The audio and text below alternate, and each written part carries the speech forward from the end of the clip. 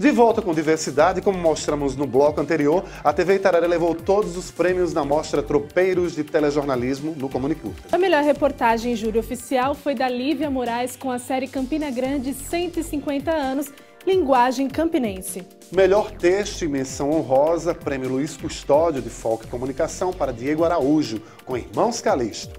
Prêmio Luiz Custódio de Foco Comunicação e Melhor Cinegrafista, Hermano Júnior, Anderson Leal e Luiz Cláudio com Samba de Coco em Queimadas.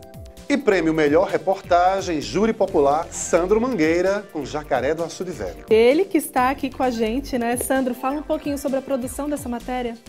Essa matéria teve produção minha, é, contou com a ajuda também da equipe aqui. Carla fez algumas sonoras, a irmã também ajudou com a narração.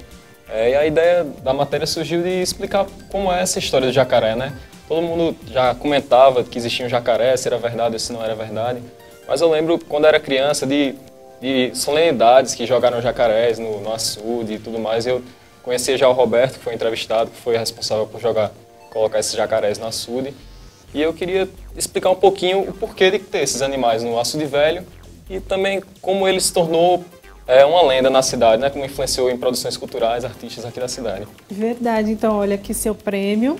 Parabéns, hein, Sandro? Tá Obrigado. Detalhe, gente, Sandro foi recém-contratado da TV, é recém-contratado da TV Itararé e está em estado probatório ainda, mas olha, com a comprovação Acho que já foi dessa, aprovado, né? vamos assinar sua carteira. Parabéns, Sandro.